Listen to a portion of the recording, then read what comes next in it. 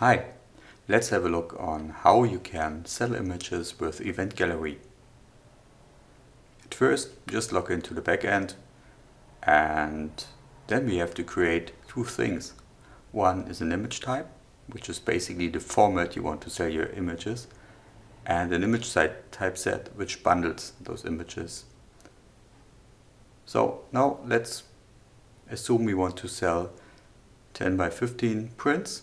So we create an image type, price 2 euros, no maximum price.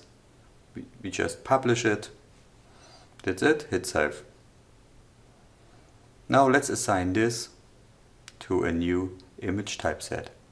Just create the image type set. The name doesn't matter, it will not appear to the customer.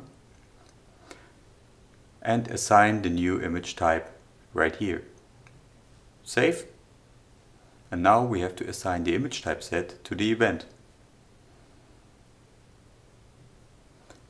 Let's do this. Since it's the only one, it's already pre-filled. Hit save, switch to the front end, click the cart button, and now it's working. The image is added to the cart. This happens if you have exactly one image type. So let's create another one. That's a new feature in Event Gallery 3.8 where you can have packages.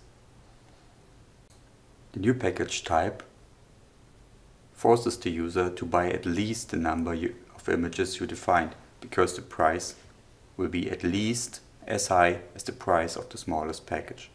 So this time we have a package of 20, we publish that, assign it again to the image type set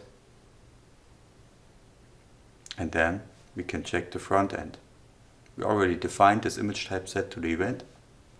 So Back to the front end, we click that cart button and we see the new format. So let's put 19 images to the cart. And as you can see, you have to pay 20 euros because the package is 20 images, 1 euro, that's it. If you increase the number over the package size, then you have to pay the single price of the image. That's it. That's how to set up selling images with Event Gallery. Thanks for watching.